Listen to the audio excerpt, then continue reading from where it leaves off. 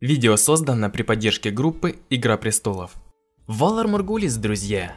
Продолжая серию роликов об истории мира Игры престолов, в этом выпуске человек расскажет о появлении в Вестеросе первых людей и об их отношениях с предыдущими обитателями материка. Согласно самым уважаемым источникам из Цитадели, где-то между 8 и 12 тысячелетиями назад на просторах крайнего юга Вестероса новый народ пересек полоску суши проходившую по узкому морю и связывающую восточные земли с краем, в котором жили дети леса и великаны. Именно здесь первые люди вошли в Дорн по сломанной руке, которая еще не была сломана. Никто уже не помнит, почему эти люди покинули свою родину, но когда они пришли, то пришли в полной силе. Тысячи пришедших стали оседать в этих землях и в течение десятков лет продвигались дальше и дальше на север – тем сказаниям об этих кочевых временах, которые у нас есть, доверять нельзя, поскольку они внушают, что всего за несколько лет первые люди прошли за перешеек и по всему северу. Хотя в действительности, чтобы это произошло, потребовались бы десятилетия, а то и столетия. Но что в этих сказаниях кажется точным, так это то, что первые люди вскоре вступили в войну с детьми леса. В отличие от детей, первые люди обрабатывали землю и строили крепости и поселения – а для этого им требовалось вырубать леса чердрев, включая те, что были с вырезанными ликами, и за это дети нападали на них, что вело к вековым войнам. Первые люди, которые принесли с собой неведомых богов, лошадей, крупный скот и бронзовое оружие, были также крупнее и сильнее детей, так что они были серьезной угрозой. Охотники детей, их лесные плясуны, стали кроме того и воинами, но при всех их тайных познаниях о деревьях и листве, они сумели лишь замедлить продвижение первых людей. Древовицы применили свои умения, и сказания гласят, что они сумели призвать зверей болотных, лесных и небесных, чтобы те сражались за них, лютоволков и чудовищных снежных медведей, пещерных львов и орлов, мамонтов и змей и прочих. Но первые люди оказались слишком сильны, и дети, как рассказывали, были вынуждены пойти на отчаянный шаг.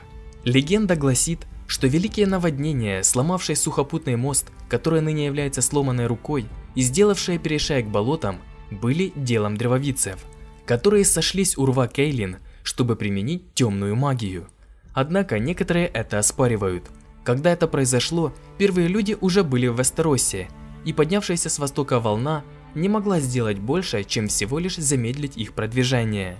Тем более, что такая сила находится за гранью способностей древовицев, о которых обычно говорили, и которые и без того кажутся преувеличенными.